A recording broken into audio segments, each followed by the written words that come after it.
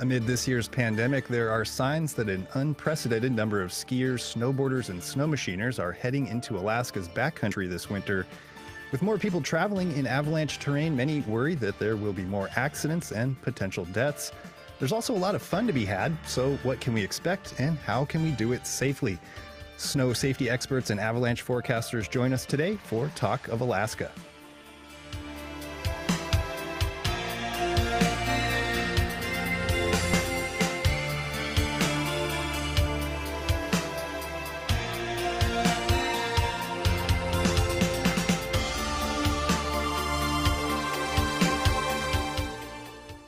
Funding for Talk of Alaska was made possible in part by the Alaska Mental Health Trust Authority and listeners just like you. Thank you. And by Alyeska Pipeline Service Company, celebrating more than 42 years of Alaska operations. The views expressed on this program are those of the participants and not necessarily those of Alaska Public Media, this station, or its underwriters. It's Talk of Alaska. I'm Casey Grove. And if you're part of the backcountry ski, snowboard, snow machine community, You've probably seen certain equipment flying off the shelves or heard dealers talking about snow machines selling out. Maybe you've seen avalanche safety classes and trailheads filling up earlier than ever. Let's face it, there's less to do indoors during the pandemic, so naturally more people are heading outdoors, and that includes to Alaska's mountains. To help us understand the scale and the impacts of this surge of backcountry users, we're joined today by Chugach National Forest Avalanche Information Center Director Wendy Wagner Hatcher Pass Avalanche Center Director Jed Workman, and Alaska Avalanche School Director Melis Coady. We also have Blue and Gold Board Shop owner, former pro snowboarder Jason Borgstede on the line to talk about things from his perspective. First, though, you can also join our conversation. Are you heading into the backcountry for the first time, the thousandth time? Have you taken any avalanche safety training, or have you ever been involved in an emergency in the mountains? Call us. The number is 1 800 478 8255.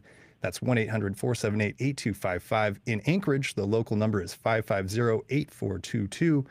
You can also email us at talk at alaskapublic.org and drop questions or comments on Alaska Public Media's Facebook page. We are streaming live there. And let's just jump right into this. I, you know, I think the first thing to talk about is maybe the risk and reward of backcountry skiing and snowboarding and snow machining. So to start out, let's talk about that. And I want to turn to uh, Jed Workman with Hatcher Pass Avalanche Center. Jed, why do people enjoy skiing or snow machining in fresh snow way up in the mountains? That's the reward, but along with the reward, there are risks. So, what is the risk reward here? Well, I think we can all agree that it's just really fun. And unfortunately, with many things that we do, many outdoor pursuits, um, that comes with some level of risk. I mean, I think as Alaskans, we just love the outdoors. So we're constantly finding ways um, to engage with it. That could be a fisherman. That could be somebody racing the Iditarod. It could be somebody backcountry snow machining. Um, all of these things carry a certain reward, but they also carry a high enough level of risk, and sometimes that's our lives. Um, but we still come back to do it, and we continue to learn from that and share that with everybody we know because – being in the outdoors is just a thrilling adventure and it aids in our health, our exercise and, and our well-being. It's a place we all want to be. And it's it's so different from sort of skiing at a resort and using a chairlift. This is like unsupported, in a lot of cases, human powered, and uh, very. You got to be really self sufficient to be able to um, to do this kind of uh, recreation. And I, I wanted to turn to uh, Wendy Wagner with Chugach National Forest Avalanche Information Center. What advice do you have for people, maybe because they're cooped up and this pandemic just drags on and on and they're wanting to get farther outdoors and they're maybe planning on skiing or snowboarding or snow machining in the backcountry for the first time? I know there's a lot of information out there, but but real quick, what should people know and how to how should they prepare? Well, first, Casey, thanks for having us on and uh, bringing this topic into Talk of Alaska. And uh, yeah, absolutely, what Jed said. There's lots of there's lots of fun to be had outdoors, and we need that for our mental health and being cooped up these days with uh, the issues with um, COVID. But first of all, if you're headed out into the backcountry and it's winter time, knowing where avalanche terrain is is critical because that is where avalanches happen. And it takes a whole host of education, and you can, we'll hear from Melis here in a little bit, but education to know your terrain is the first thing. And there's a lot of ways to get there. But um, if you're not in avalanche terrain, you're not in avalanche danger. The problem is so many places we like to recreate are in avalanche terrain. And so that's why we're talking about this today. Yeah, and maybe we should back up here to maybe what some of the signs are that we're maybe expecting or seeing more people than ever out in these backcountry zones. And we're, you know, here in Anchorage, we're talking about Hatcher Pass or down in your area, Turnagain Pass. And I, I wanted to bring in uh, Jason Borgstede with Blue and Gold Board Shop here. We've heard stories about snow machine dealers selling out of snow machines and online retailers having avalanche gear on back order. Uh, Jason, you're a retailer here in Anchorage and the owner of the snowboard shop that sells both the equipment to get into the mountains and the avalanche gear like beacons, shovels, and probes. What are you seeing with uh, things selling in, in your shop? Uh, well, first, thanks again for having me. I am like the kid running through the candy store amongst uh, these three other dentists that are trying to save me from myself. So uh, I appreciate them at all times. But uh, we are definitely seeing a big surge of people trying to get outside. It really kicked in this summer uh, with skateboarding and has started to carry over once the snow hit. Uh, once people got over kind of the, the craziness of our election cycle um, and that snow coming down, they really started to charge the outdoors. Um, I have a clip from a GoPro where at the bottom of the run, uh, as I come out of the run, you can see 14 people switching over back to skins at yeah. the base of this portion of a run up at Tin Can. So we are definitely we're definitely seeing a lot of um, a lot of increase in the crowds. Um, we're seeing a lot more interest in backcountry in split boarding uh, in the shop. Yeah, and uh, I wanted to mention too. I mean, if if folks don't know what a split board is, maybe Google Google that. I've uh, had to explain what a split board is to a lot of people. Uh, basically, it's a way to go backcountry snowboarding uh, in a human-powered way. Um, and in terms of selling split boards, I mean, have you seen many more people buying split boards and that kind of gear? Yes.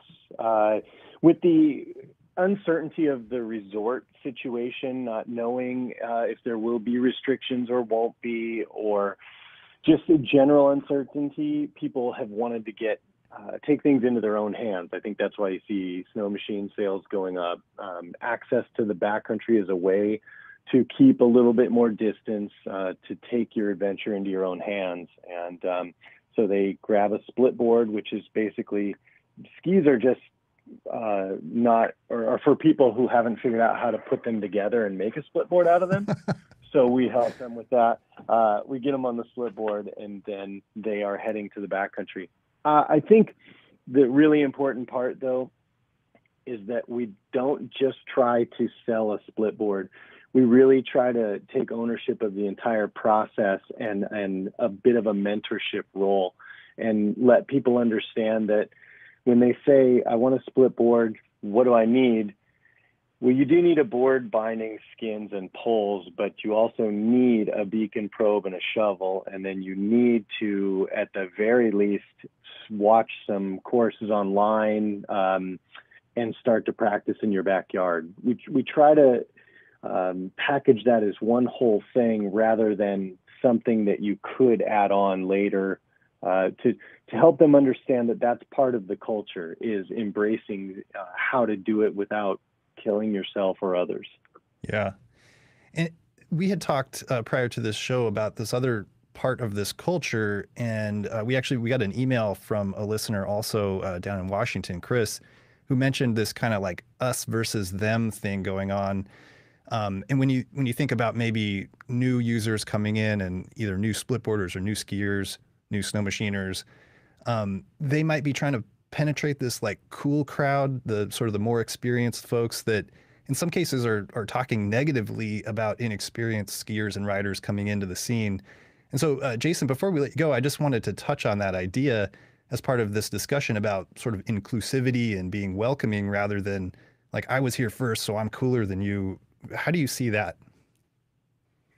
Um, I, I, there's a little bit of the cooler than you, but it's more so. Um, it's talking. It's a general narrative of talking down to people who are new to that zone. And in the, over the last five years of opening the shop, um, I've heard company after company and group after group saying we got to get more people on split boards. We got to get people into the backcountry.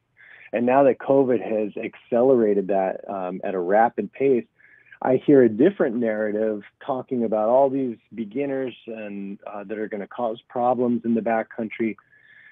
Uh, I think that that's a little bit tough for me to handle um, because that's not how um, how we should be welcoming that crowd. We should say we should be embracing them and helping take a mentorship role along with that to say, "Hey, welcome, come on in."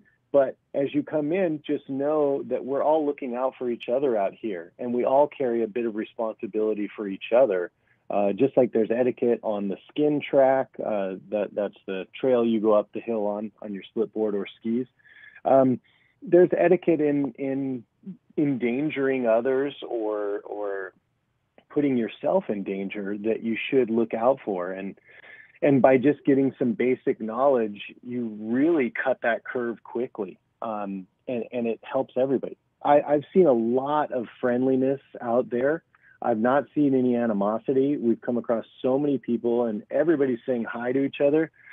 So if we can just take that a step further and try to make a more welcoming narrative, then I think the new people will be more open to learning, more open to educating themselves and understanding uh, what they're getting themselves into. Uh, it's it's not something to be scared of. It's something to be um, uh, to appreciate and to embrace, but also to respect and and as long as you do those things, then everybody should have a pretty good time. Yeah.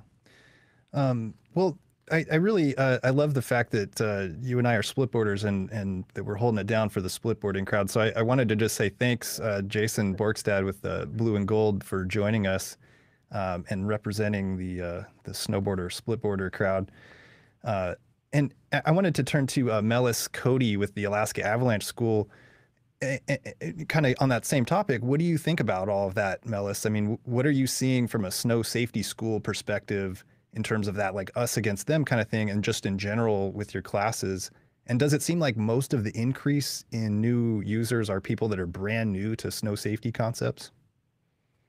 Well, that's a great question, Casey. And I'm sorry to hear from the listener in Washington that that dynamic is something that they felt. Um, we just, you know, more so than this year, over the last five years, our Avalanche School has more than doubled in size. And then you layer on top of that this additional pulse of new interested uh, users that we've been able to measure pretty effectively. Like last year was a busy year, and our first day of registration, we had nine people sign up. And this year we had 166 in the first 24 hours and they were almost entirely in our introductory uh, courses. And I know the forecasting centers, um, you know, Jed and Allie up with HPAC and, and Wendy, um, with Chugach Avi and the Avalanche School, we typically spend so much of our time and energy um, doing trailhead workshops that are free, going into retail shops and delivering free lectures um, talking about the basics and the equipment. So that's not the messaging you'll get from these organizations. Um, Avalanche schools definitely weight their courses towards beginners and entry level users. So there's there's a lot of education products out there for those folks. Um, all that said, you know, sometimes we'll hear a frustration from instructors where someone will show up for a class and they're, you know, pulling the labels off their equipment and there's just not enough time in an avalanche training course to show people you know in depth how to use their equipment. So there is some expectation that you would show up you know being ready to travel. Yeah and uh, I just want to throw out our number here again. Uh, this is Talk of Alaska. You can call us at 1 800 478 8255. That's 1 800 478 8255. Please give us a call. In Anchorage, the local number is 550 8422. And you can email us at talk at alaskapublic.org. I'm monitoring those emails. I wanted to turn back to Melis here. Uh, to be clear, there, there's really no like official requirement that you have to take an avalanche class, right? I mean, it's it's recommended. Uh, it's not necessarily necessarily required. Yeah, you'll see on social media and so forth, people are looking for partners and they'll say things like, I only want to ride with somebody that's taken a course. And it's like, well, is that a reasonable expectation? But um, it is a metric to understand like what information somebody's been exposed to. You know when somebody's taken a class that they've been mentored by somebody with more ability and experience. They've been forced to practice with their emergency rescue equipment. So I can see how that gives somebody a peace of mind. Obviously, there's a lot of ways to uh, accumulate this information through self study and traveling with people with more experience.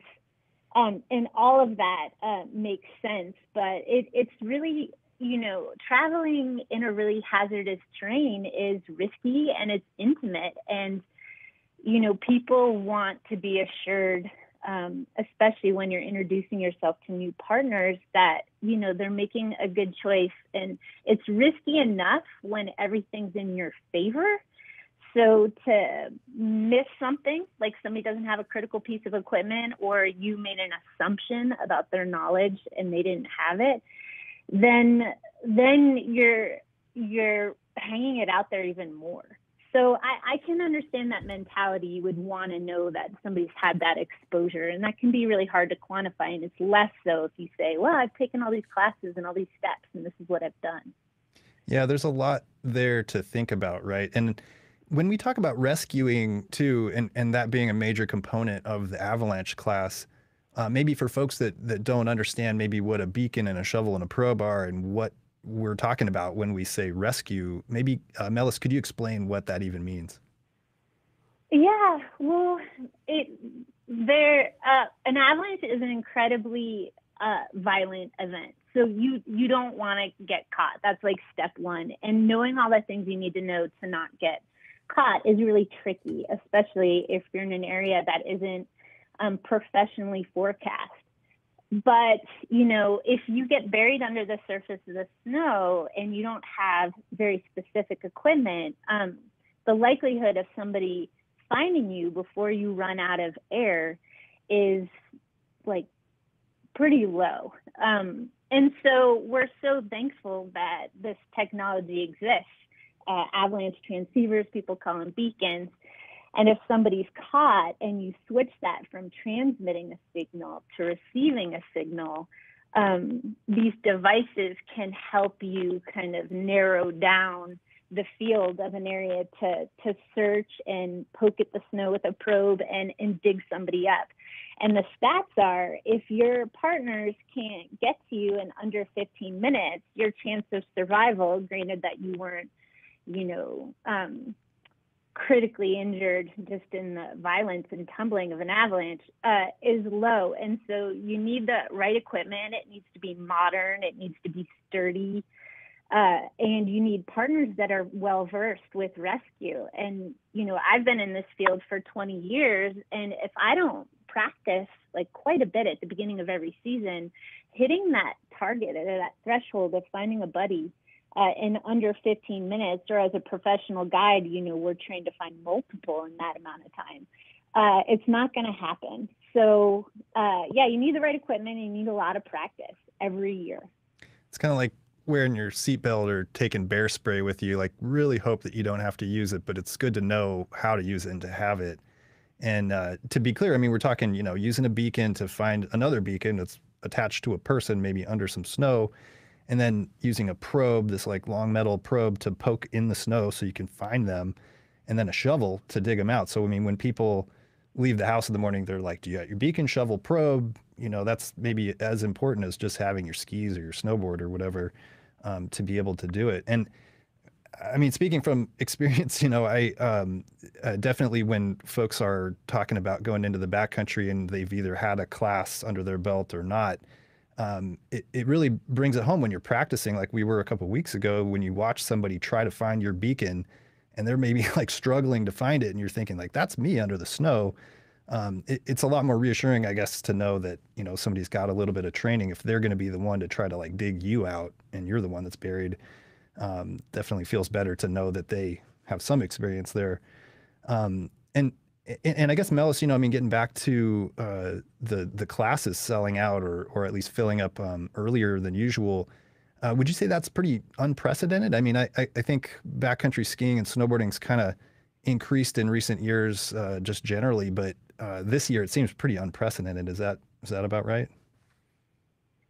Yeah, normally we do quite a bit of marketing. We print posters, we do things on social media, we do things to fill our courses. So they do fill every year, but with quite a bit of effort. And now what we're seeing this year is, I guess, as of today, most our courses are full with a wait list. So we have 493 students registered in this is day or multi day uh, avalanche educations, and we have 241 on the wait list we opened up two courses in the last you know four or five days and they're both already full. So we're doing the best we can. You know avalanche courses don't grow on trees. It um it's hard to uh, get qualified staff and make sure we're not overrunning areas with education courses but we know we're going to be like busy holiday weekends with with normal backcountry traffic. So you can't just keep adding, adding, adding more and more courses. But all I can say is if you, you're not in a course right now, now is easier than ever to uh, get a lot of really good education online. And on the resources page of our website, alaskaavalanche.org, uh, we have links to some of our favorites. And uh, you can get quite a bit of information from there. Um, there's great books we could recommend.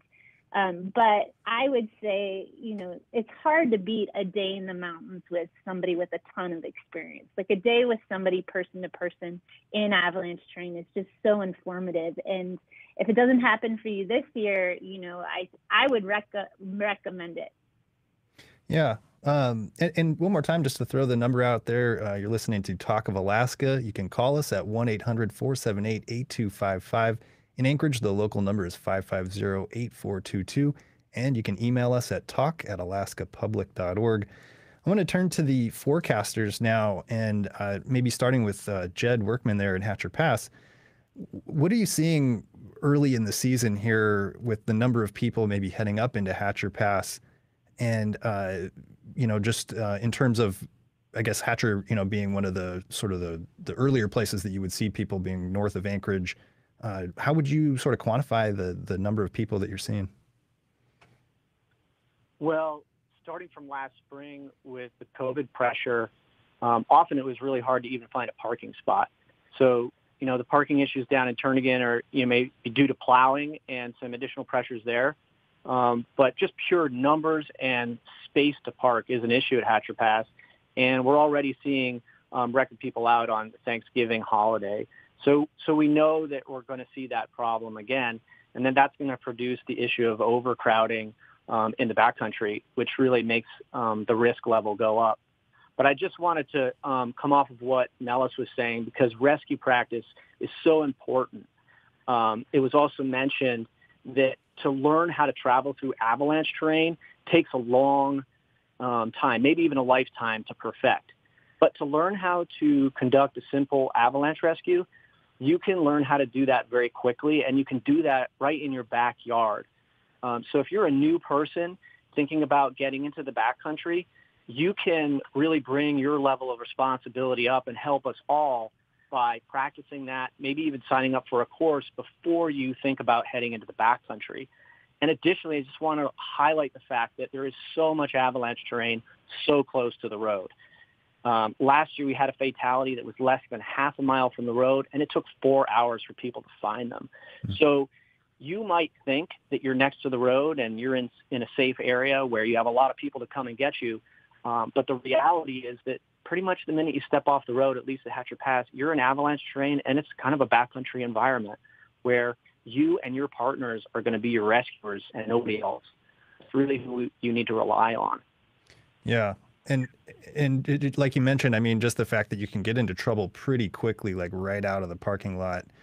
Um, and, and we've talked about some of those parking issues both at, at Hatcher and Turnagain Pass. There was a letter sent to the governor about uh, maybe a lack of plowing or, or budgeting for plowing in Turnagain that's led to people maybe parking alongside the road. And, you know, we're, we're in this pandemic. We can't carpool maybe necessarily with folks outside of our, our bubble that we would want to go skiing or snowboarding with. I know personally, I'm, I'm really missing out on those long conversations driving up to Hatcher with my buddies. Um, but you know, aside from the parking uh, in in Turnagain, that would be the Chugach National Forest sort of area. I wanted to ask uh, Wendy Wagner with the Avalanche Center there. What what are you seeing so far this year in terms of the number of people? Yeah, we're definitely seeing increased use and really great snow conditions over Thanksgiving week has brought a lot of people down to the Chugach National Forest. But um, we we're anticipating the same thing everybody else is. The forest saw really high trailhead counts this summer, and it looks like that is just pushing into winter. And we just heard from Jason earlier in the show that he was at Tin Can the other day with a bunch of people, and I would like to say quick to piggyback on his comment that I think that's great. There are a lot of people getting out and we really do need to lead by example and be inclusive to all the new folks and all the people taking the avalanche classes and how they're filling up quickly this year it's i think that's a real positive thing as long as it comes along with this avalanche education piece. And i think jason nailed that on the head earlier in the show. But um, that is one of our big worries is many people in avalanche terrain at the same time. There could potentially someone could accidentally trigger an avalanche that could impact another group or another person. And we of course really do not want that to happen. But that is a little that is a reality when you have multiple groups in the same slope and the same terrain and i mean not to be too morbid, but obviously the worst outcome from something like this would be a death, um, or you know, multiple people being buried and maybe dying.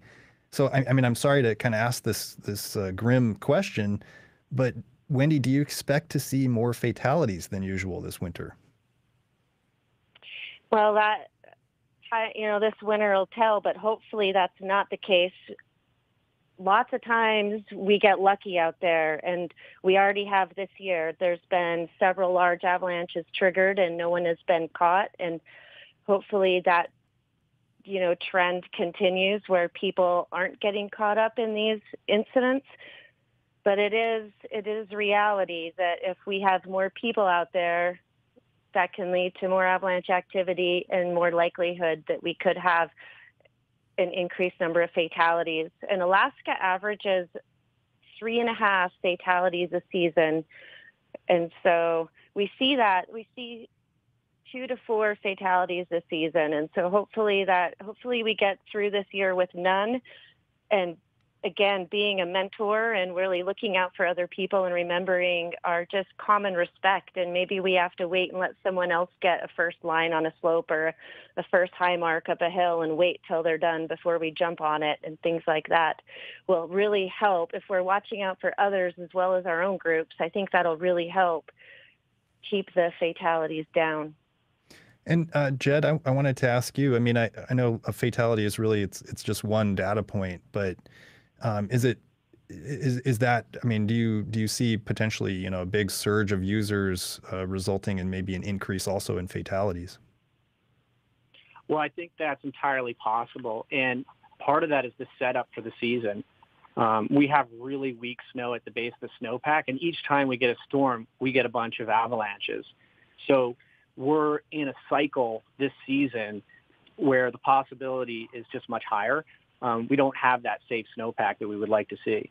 So you add on top of that increased numbers, and unfortunately, that that's probably what it spells is some kind of accident, you know, and hopefully nobody dies. But I, I do want to reiterate the importance of that mentorship because, and the inclusivity. And I think the way that works is people with experience need to identify people with less experience in the backcountry and be gentle in their advice to those people so that they're being inclusive and not um, heckling them. Yeah. Small pieces of advice um, when when we travel in the backcountry as professionals, we like to be two, three people, a small team, and we like to have our own mountain. We don't like to be, uh, we don't like the the chaos of not knowing what other people are going to do. So with more people, I think communication is is more important than ever. So checking in with people at the trailhead, like, hey, where are you headed? What's your plan for today? Um, do you have a radio? I think a really important thing we want to get out there is that those little BCA radios that are so popular and hopefully more people are using them, um, each area tends to have a channel dedicated to that. So that just gives you the potential for more resources in, in an incident. And at Hatcher Pass, that channel is 420 for its obvious reasons, and um, but that's channel four, sub channel 20 and everybody's monitoring that. So if there's an incident and somebody's near you, you could potentially call for help, and that's that's a really big asset. You know, cell phones are spotty. InReach isn't going to get anybody there for an hour. So um, the communication and sharing your knowledge, like we're looking at persistent slabs today on these aspects. This is what we're going to avoid. What's your guys' plan today? Um, I think offering that type of mentorship will go a long way and potentially even save lives this season. Yeah. Uh, thanks for sharing that. And uh, we are going to take a quick break here. You're listening to Talk of Alaska, and we will be right back. Talk of Alaska is brought to you in part by your local public radio station. If you have health insurance through Medicare, the time to make changes to your Part D prescription drug plan is October 15th through December 7th. You can enroll in, change, or drop your prescription plan. Check your plan and compare your options to see if you need to adjust your insurance coverage.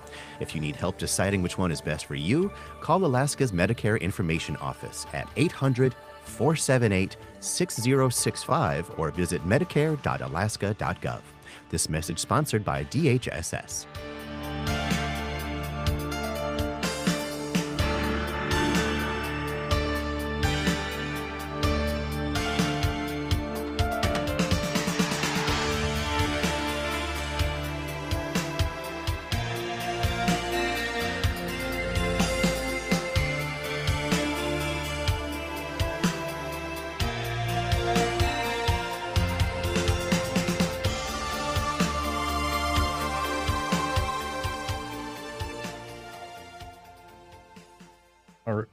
Right, you're listening to Talk of Alaska. I'm Casey Grove.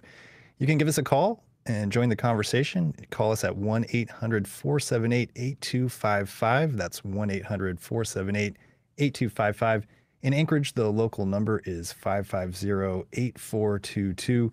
We're talking to snow safety experts about a surge of new users heading into the backcountry this winter skiers, snow machiners, snowboarders. Um, now, I, I, I wanted to uh, turn to uh, Melis Coady with the Alaska Avalanche School. Um, Melis, uh, you're in the business of teaching people, among other things, how to rescue people from an avalanche potentially. And we've talked about more people being in sort of, you know, so, some of the same zones, maybe being on the same peaks and skiing and snowboarding. Um, is it is it possible also that having more people in those zones means more potential rescuers too? Yeah, it's interesting that you say that. We just did our staff training, um, and something that we were talking about is we have courses, you know, every weekend all winter. So the chances of one of our courses witnessing an incident just seems particularly high this year. Even during staff training at Turnagain, they witnessed, you know, a human triggered avalanche. And so something that we've done is just add a little more to our kits to be able to assist the general public. We are not a search and rescue team. That is not our mission, but we do know by virtue of where we are every weekend what we might see.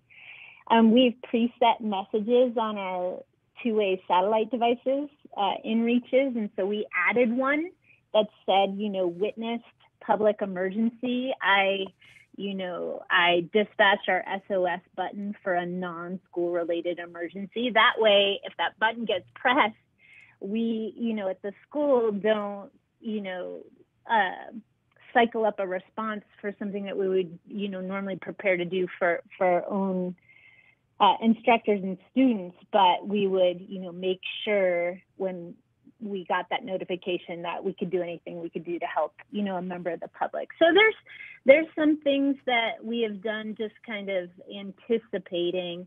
Um, you know, hopefully more accidents don't end up be more fatalities. Hopefully they're survivable. We all learn from them. And our hope is, you know, education is constantly evolving.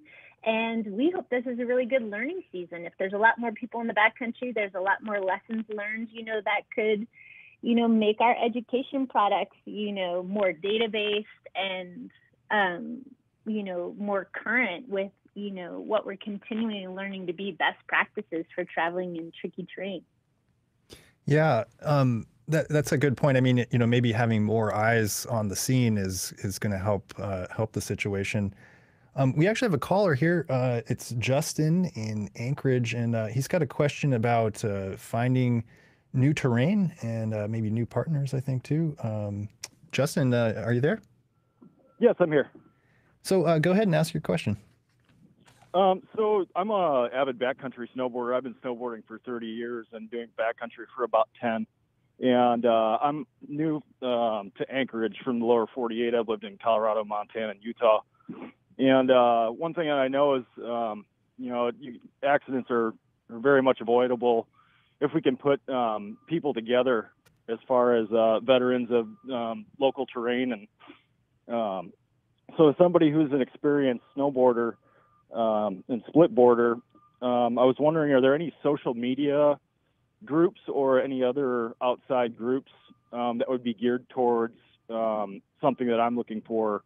Um, as far as you know people who are who are veterans of the area and you know bringing people together so that um, uh, new guys like myself can can learn the terrain. Yeah, definitely. Um, let's see, who should we send that question to? Uh, uh, Wendy Wagner with the Chugach National Forest Avalanche Information Center. Uh, what do you think about that? Well, maybe some of the other folks want to chime in, but there's a Facebook page called Alaska Backcountry Ski Addiction, and that has a lot of information I think you would find interesting. And I know a lot of people connect have connected on that um, Facebook page, but I don't know if any any other of the speakers have a any other platforms. Yeah, that's that's the main one I've seen. Alaska Backcountry Ski Addiction. Uh, Jed or Melis, do you guys know of any others? Well, I think one thing you can do. Jason's no longer on is you know connect at your local board shop, and uh, that's where you're gonna you know especially in the split boarding community that's kind of a narrower look at where you're gonna find um, good partners. Yeah, Jed. Sorry, I kind of directed you guys right into each other, but uh, did you have something to add? Oh no, that's that's great. Um, you know, I think this has always been a difficult thing to achieve. Anybody getting into this sport has always asked that same question, Justin. And you probably went through it in the beginning of your experience um, backcountry, and I'd be curious to hear how, how it worked for you. Um, but typically, if you get out into the backcountry, you can do it by sticking to slopes that are, you know, 25 degrees or less, and you can still go out and have a safe day on your own. And then you start to meet the people that are actually out there. Um, and once you develop the relationships with people that are in the local area, that quickly blossoms and opens up to a lot of other um, people that you can join in and become partners with. So I think just meeting your local community and getting out there. Yeah, there's a, I, be, I believe there's a splitboard forum online too that I've uh, met a couple friends through that um, started out as just kind of one-time tours, uh, and and we ride together all the time now. Um, and that's kind of a split board specific thing. And I'm I'm blanking on exactly what the name is, but I think if you Googled uh, split board forum, there's a message board there, and you can start to kind of meet new people. Um, we, we also have an email here from uh, Ralph, and I'm not sure well where Ralph is, but uh, Ralph was asking kind of more about what it's like to take a new partner into the field and the question is, what is a reasonable staged approach to take with your new partner once you're in the field? Um, so, talking about kind of what specific things would you do if you were the more experienced person taking somebody brand new along with you? Um, and maybe I'll throw that one to uh, Melis. Yeah, it's hard to, uh, you know, understand the human dynamics. All I can say is, you know, there there's some real risk traveling unsupported in the backcountry. And so you're wearing a lot of hats when you do that. You're saying that, you know, I can successfully read how hazardous the the snowpack is. I can understand how the weather is changing throughout the day. I know how to do a rescue. I have first aid experience. I know how to, you know, handle somebody if they're scared or they're too hyped up. And, you know, some extent you're like a therapist. And so, you know, I, I, that's not a lot of doors you want to open with just anybody. Um, you know, all that decision making that has to happen and so forth. So I would say if you're at the trailhead with somebody you don't know well, make it so that the terrain isn't the big distraction. You can just work on forming a relationship and trust and understanding how you make decisions, what you notice, kind of developing patterns of behavior. Because the harder the terrain you encounter there is, the more distractions that you have and the harder it is to make good decisions. And, it's a really high performance sport. Yeah. And Ralph has this kind of follow up question about the human factors to be aware of in new backcountry partnerships. And I think there's this concept, uh, correct me if I'm wrong, it's called the golden halo. And you teach that in your classes. And I, I, I think it actually maybe applies to a lot of things, not just really backcountry travel. But tell me about what the golden halo effect is. Well, if you're with somebody that has a lot more experience, like for instance, if I if I went out with one of these other people, you know, on right now, Wendy or Jed, they spend, you know, most days out in avalanche terrain. Jed's, you know, a heli ski guide. Um, Wendy's like a really experienced snow machiner and skier. And even though I have quite a bit of training and experience, I would I would automatically be a bit self-conscious about like, oh, I've you know been in the office for two weeks. I'm not really getting out. This is your backyard. You forecast for this area, and that uneven balance in decision making is really risky for Jed and Wendy and I. You need somebody to bounce ideas off because they're complex decisions. They need to be looked at from multiple angles and perspectives and ultimately it comes down to you know do you feel safe? And that's a very very personal um, decision and you need to be able to communicate that with somebody else. So when they talk about expert halo it's really easy to be quiet when you think you're with somebody of more experience. But you'll hear this from pilots and backcountry ski travelers as you know they want everybody to have eyes on um, and you might very well notice something they don't because they're paying attention to something else. So it's almost always the most eyes, the better. And you really have to create a dynamic where everybody feels comfortable speaking up and the minority rules. And we teach that in decision making. But do you guys have other ideas? Yeah. How about you, Jed? What do you think about that? Well, you know, I, I think as a heli ski guide, I'm often taking people out into the backcountry, and I'm taking a hundred percent of the risk in in terms of evaluating it and making the decisions. Um, I'm not relying on those other people to participate in that. Now, I will definitely use their observations and their eyeballs, and I'll be asking them questions. But really, if you're with a sort of an imbalanced team, I guess, of, of skill, I just think you need to come back to the travel protocol. I mean, this is one of the things that's really going to save our butts out there. Doesn't matter what your experience level is, but sticking to traveling on in avalanche terrain, one person on the slope at a time, not putting a second or third on there because if more than one person gets buried, the avalanche rescue process becomes exponentially complicated really need to minimize that because no matter how expert you are, you can still end up in an avalanche. So one person on a slope at a time. Everybody else is a spotter. Their eyes on you all the time watching. So if the most experienced person is first one down, they have all those other people carefully watching that to that last point scene if they get caught, because that's going to speed up the rescue effort. Remember, we only have 15 minutes. Um, and then the communication through the day as a mentor. I think when we're taking people through the backcountry, we're consistently communicating what we're seeing, and then we're asking people to reciprocate that back. and to add what they're seeing and to work through this process of decision making and interpretation through the day, but then always coming back to the simple um, travel protocol. And, and it will be those more complex things that will just take years of experience. Um, but that's we can offer those tidbits throughout the day. Um, and I just wanted to add with the travel protocol the the incredible um, importance of identifying all the safe zones. Um, so if somebody's skiing down slope and they get to the bottom, they're not done. They need to move to the identified safe zone, which is well outside of anywhere an avalanche can come off the mountain and get you.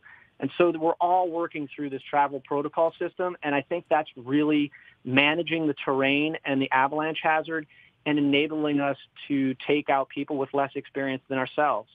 Um, obviously, we're carrying a, a big um, responsibility there, as Melis mentioned, but that travel protocol is so key. Yeah. Well, uh, you're listening to Talk of Alaska. We're going to take another quick break and we will be right back. Talk of Alaska is brought to you in part by your local public radio station. If you are at home with someone who makes you feel unsafe, help is available. The Strong Hearts Native Helpline is here for you if you are experiencing domestic violence. You are not alone. Call 1 844 762 8483 or visit strongheartshelpline.org. This message brought to you by the Council on Domestic Violence and Sexual Assault. All right, you're listening to Talk of Alaska. We're talking to snow safety experts about a surge of new users heading into the backcountry this pandemic winter. We actually have a call from uh, somebody that's heading into the backcountry as we speak. It's uh, Bob, I think, driving to Turnagain Pass. Bob, are you there? I am. And you had a question about uh, gear proficiency? Uh, yes, and uh, ironically, I'm stopped just south of Girdwood while they do avalanche control. So avalanches are real. Uh, but uh, one of the things I've not heard from the experts, we've talked about mentoring, but one of the best ways is to uh, do a little practice before you go into the field. Bury a piece of plywood, hide a beacon, take five, ten minutes, make sure everybody knows how to put their probe together and what a beacon sounds like. Uh, I've met so many people that they've got all this new fancy equipment and they, they're unsure as to how to turn it on and how to use it. So a little bit of practice goes a long ways to having a safe, uh, fun day. Yeah. Well, Bob, can I ask you, are you heading up to Turnagain Pass to get into the backcountry? Uh, unfortunately, no. This is uh, work related this trip, but uh, it uh, it is something I do like to do. Okay. Well, hopefully you're getting paid by the hour there if you're uh, waiting for the avalanche control. Um, maybe we'll uh, we'll throw that one to Melis. What, what do you think about that, Melis, in, in terms of the the practicing with your gear outside of a class, maybe? Yeah, that's always encouraged. It's really been a wake up call for me that in the last couple years we've started offering professional level courses that people need for, you know, snow careers and fields. And the entry level exam for these courses is pros that have been practicing for, you know, an incredibly long time have to find um, you know, two beacons in under seven minutes in a 50 by 50 meter square buried a certain depth. And um, we've continually seen even experts struggle with it. And a little bit of practice solves the problem right away. And so that's something you can do. Um, you know pretty easily yourself but you do need more than one more than one beacon to pull off a practice so you can do it in the backyard. It doesn't, uh, you don't have to go anywhere fancy to be able to do it. It's really fun thing to do with kids. Um, but, uh, and then we're finding more and more ski areas trying to put up beacon parks so that people can practice, you know, at the base of the list, which is really helpful. Yeah, I think, uh, does Alyeska have one of those perhaps? Uh, I know they have the equipment. I know Skeetawk uh, up near the base of Hatcher Pass is talking about installing one. Um, so hopefully, yeah, it's something we can get going this season. So we had a. Oh, go ahead.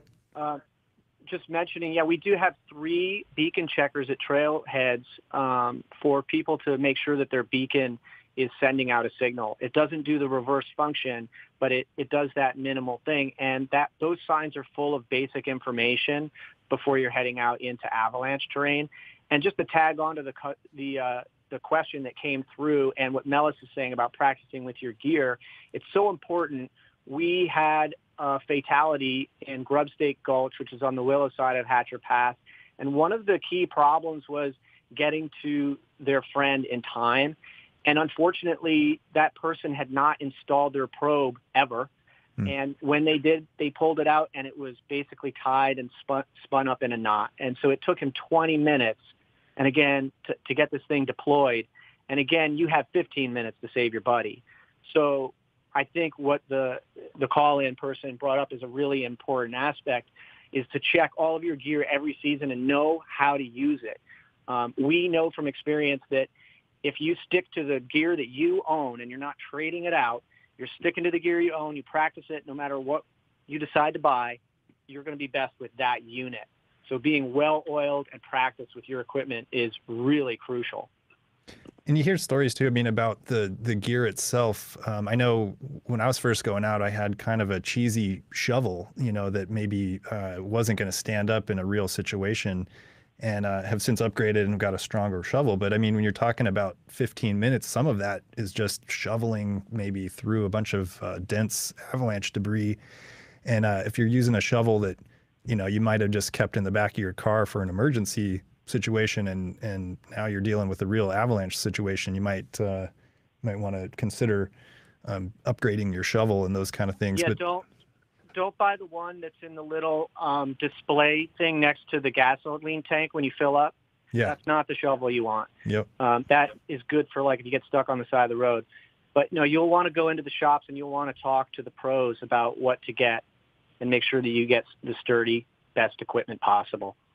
And, and Jed, I, maybe this is a question for you. I'm, I'm trying to remember if it was uh, you or Chugach that had posted about the um, Avalanche Center down in Southeast, but we had a question here from Southeast about what sort of resources folks in that area can look for um, outside of South Central. Know, what sort of uh, backcountry safety and I guess um, avalanche forecasting can people down in Southeast look for? Well, I think the good news is there's a new avalanche center down there. Um, they're going to have limited capacity. They're just starting up. It's a progressive model, uh, but there'll be the sharing of information, which is such a critical component to this. One of the most popular places that people go on our webpage is the observations platform. So if you're out there and you see an avalanche or or you see signs like shooting cracks or you're getting wumping like collapsing, big um, collapses of snowpack underneath you, that's like really good information to share with our entire community. And that platform is shared through the Chugach National Forest Avalanche Information Center and with Hatcher Pass Avalanche Information Center. So getting that information out to the public is is really important, and that's what Southeast is starting with, and and hopefully it will grow into a full-on avalanche center. But I would consider that my hub for information um, if I was in Southeast. And, and, those of us here in South Central, of course, I mean, we look to uh, your your Avalanche Center, Hatcher Pass. That's hpavalanche.org, I believe, and uh, Chugach National Forest Avalanche Information Center, cnfaic.org. Um, though, like you said, I mean, lots of observations there, photos. Um, definitely, when people have close calls, they often will post about it, and uh, you can really get a lot of good information just from going to those websites. Um, we got another caller here. It's Mark in Juneau, and he's got a question about educational resources for kids. Mark, are you there? Yeah, can you hear me? Yeah, go ahead. Uh, thanks for the great show. Um, some of my friends and I have been uh, skiing with our middle school age youth and younger, and I've just um, heard that uh, common wisdom is not to teach kids under 16 about avalanche safety. So I just wanted to see what kind of um, best practices there might be for teaching kids middle school age and younger about basic avalanche awareness. Yeah. Um, Melis, maybe that's a good question for you. Yeah, it's been wonderful um, to see so many kids exploring the backcountry with family members and, and mentors. But um, a couple of things to think about is, you know, even though they're physically capable, sometimes in the same way adults are, there's so much complex decision making that um, wouldn't necessarily make them the best backcountry partner because you know, what is their mental state if they have to rescue a family member? So just kind of understanding the risk you're exposing youth to is important. Uh, we still understand education's uh, important for youth. In South Central, we do one day clinics, normally at a resort. They're called Backcountry 101. So they can learn about the difference between what ski patrollers do versus what you're kind of expected to do for yourself in the backcountry. Um, online, there is so much wonderful stuff for kids. Um, there's a Know Before You Go program, um, and they have like a five part free e learning series that I would highly recommend. If your young one is a snow machiner, there's another free online training program called Backcountry Ascender. And now that kids are so good at online learning, um, those are two things I would point to. And then lastly, um, there's a program that's helping teach young ski racers a bit about what it means to go into the backcountry, what happens if they dip dip out of the um, uh, under the lines at a ski resort, and that's called the mm. Brass Foundation. And so we have all these links on our website under resources on alaskaavalanche.org. And uh, I, I, also wanted to ask Melis. Uh, you, you, mentioned you know some of the online learning that's going on, and uh, I, I, take it that the avalanche uh, safety classes that that you're teaching this winter, those have changed quite a bit just because of the pandemic, right? Yeah, we've had major adaptations to pretty much every every uh, part of our um, program as a result of you know trying to make safe delivery models um, being respectful to the risks of the pandemic. And so we've poured tens of thousands of dollars into online learning and videos so that people can experience our lectures without being confined in small spaces with um, people outside of their households at this time.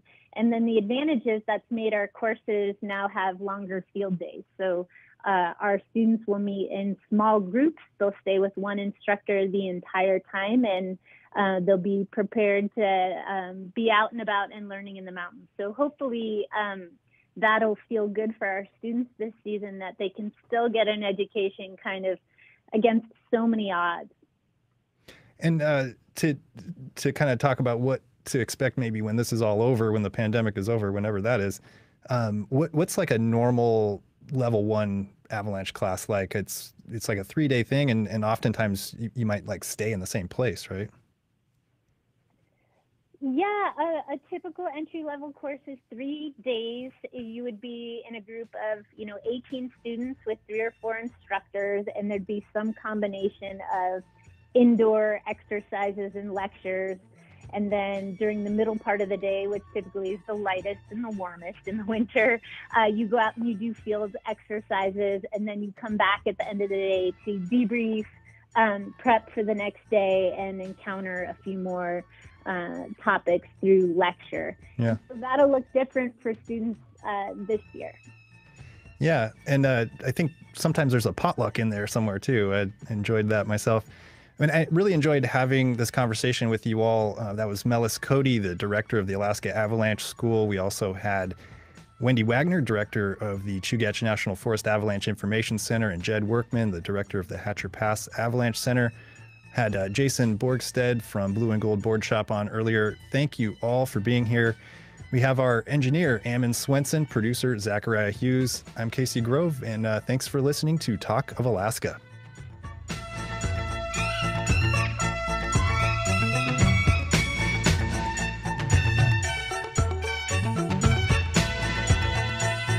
Talk of Alaska is a production of Alaska Public Media, which is solely responsible for its content. Views expressed are those of the participants and not necessarily those of Alaska Public Media, this station, or its underwriters. Today's program is available online at alaskapublic.org. This is Alaska Public Media.